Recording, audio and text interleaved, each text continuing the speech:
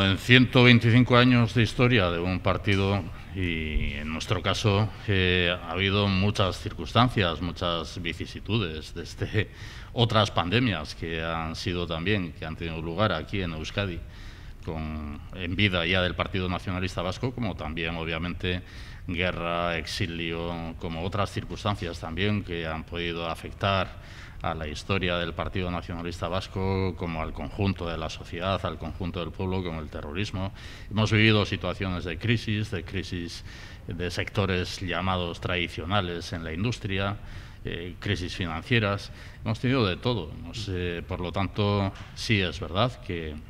abordamos el final de este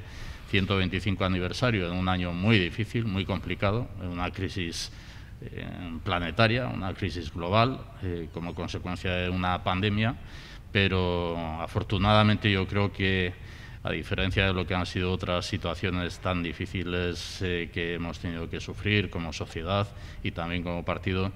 pues eh, con todas las desgracias que venimos acumulando como consecuencia de esta pandemia, sin embargo, tenemos una situación mucho mejor que la que han podido conocer nuestros predecesores en esos tiempos de crisis, sean unas u otras.